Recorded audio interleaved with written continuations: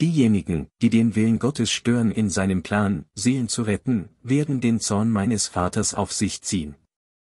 Donnerstag 14. August 2014, 15 Uhr. Meine innig geliebte Tochter, ich will bekannt machen, dass diejenigen, die den Willen Gottes stören in seinem Plan, Seelen zu retten, den Zorn meines Vaters auf sich ziehen werden. Wenn dem Menschen ein großes Geschenk gegeben wird, durch den göttlichen Willen meines ewigen Vaters, und er es ihm dann zurückwirft, weint mein Vater. Aber wenn ein Mensch versucht, meinen Plan, den Bund meines Vaters zu vollenden und der Welt das Heil zu bringen, zu stoppen, zu beeinträchtigen oder sich in meinen Plan einzumischen, wird er dafür sehr leiden. Wenn ein Mensch an seine eigene Macht mehr als an die Macht Gottes glaubt, dann wird er machtlos gemacht werden. Und wenn ein Mensch mich umarmt, so wie Judas es tat, mir sagt, dass er mich liebe, mich auf die Wange küsst und mich dann verrät, ist er nicht besser als jener, der mich meinen Henkern übergab. Ich bringe der Menschheit in dieser Zeit große Gnaden. Ich bringe dem Menschen durch diese Mission große Geschenke, und was macht der Mensch?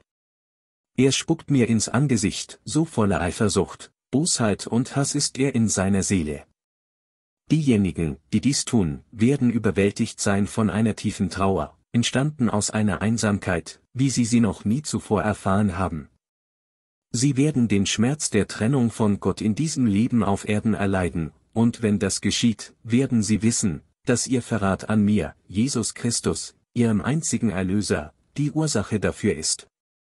Sie werden jedoch auch das volle Ausmaß meiner großen Barmherzigkeit verstehen, denn indem ich ihnen dieses Leid auf Erden gebe, gebe ich ihnen eine Chance, zu bereuen und wieder ganz heil zu werden. Wenn sie meinen Willen mit Würde annehmen, werde ich ihnen das Leben in meinem neuen Königreich bringen. Wachet auf, ihr alle, und versteht, dass es mein einziger Wunsch ist, euch in meinen liebenden Armen zu verzücken.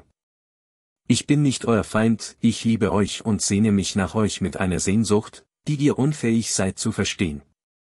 Ich sende Propheten, nicht, um euch zu erschrecken, sondern um die Wahrheit zu enthüllen, damit ich euch allen das ewige Heil bringen kann und vor allem denjenigen, die am unwürdigsten von allen sind. Kommt. Hört auf meinen Ruf, mein Plan wird ausgeführt werden, wie sehr ihr ihn auch bekämpft.